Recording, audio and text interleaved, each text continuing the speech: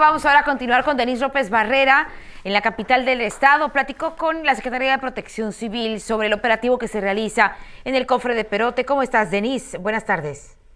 ¿Qué tal, Carolina? Muy buenas tardes. Pues efectivamente, como ya eh, se ha informado, se registró eh, caída de nieve nuevamente en, en el cofre de Perote y es importante destacar esta caída de agua-nieve o nieve está registrándose 400 metros antes de la peña. Digamos que es una altura bastante considerable, por lo cual el acceso es muy complicado y además las temperaturas y las condiciones climatológicas aún complican más eh, el que el poder subir. Para ello, bueno, pues se instaló o se está eh, conformando un operativo especial por parte de la Secretaría de Protección Civil en coordinación con la Comisión Nacional de Áreas Naturales Protegidas, por lo cual se limita el horario para aquellos que decidan acudir a la montaña. Escuchemos lo que nos comentó la secretaria de Protección Civil en el Estado.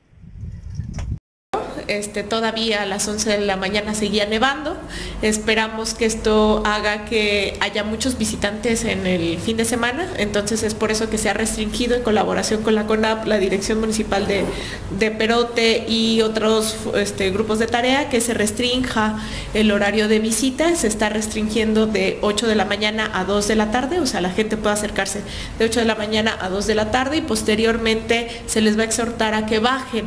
Hemos establecido un operativo de atención a los visitantes y a las visitantes en toda esta zona y tenemos algunas recomendaciones para que puedan ir, disfrutar la nieve este, y hacer su visita con seguridad.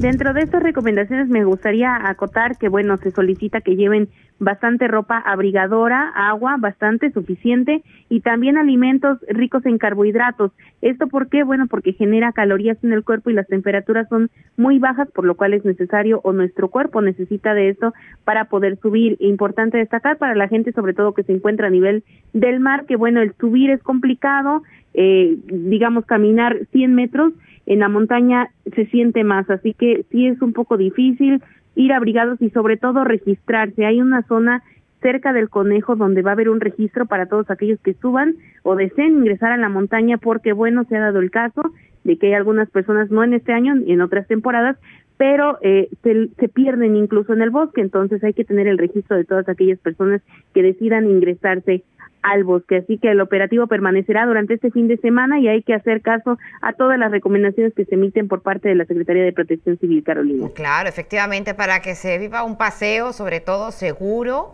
eh, y que se disfrute bien esta nevada.